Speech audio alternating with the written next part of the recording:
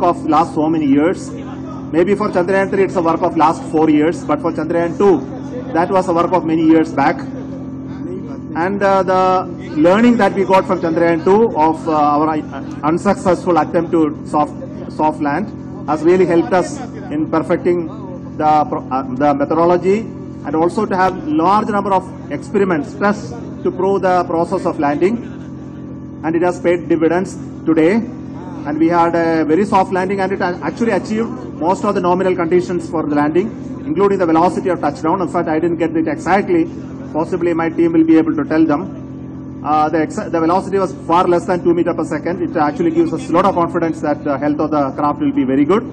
And we'll be able to continue with the experiments, including the Pragyan rover coming out and then doing all the experiments. So we are looking for very, very exciting 14 days from now uh, for Chandrayaan 3. And as Honorable Prime Minister has mentioned, it is not Chandrayaan 3 alone, it is for future scientific exploratory missions. This is the beginning of uh, a golden era. That's, that is a message I get from what our Prime Minister told. so we are looking for launch of Aditya L1 now next month and also the launches of many other science missions, including the mission for the human spaceflight as well.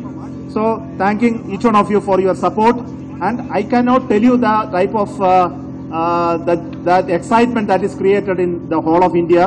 Every school child, every school, every village, every mohalla is excited by the show, showcasing of this uh, landing videos and broadcast and all of them are praying, having lot of pujas and homas and other methods of prayers suitable for each one of them to, for the success of this mission. And I want to thank each one of you for your your excitement, your love for the nation, and for whatever we achieved today. It's all dedicated to your uh, yourself and for your courage and strength to support us. Thank you so much. Definitely, it's the most, as I said during my speech, it's the most, most memorable moment of our life. Not only for my, for me, for my team, Chandrayaan 3. This is the achievement for which we have slogged for, for the past, for the past so many years. This is what we have strived for, for the past so many years. Whatever, whatever, whatever we have targeted, we have achieved it on dot. It was like a simulation what we have seen in real time.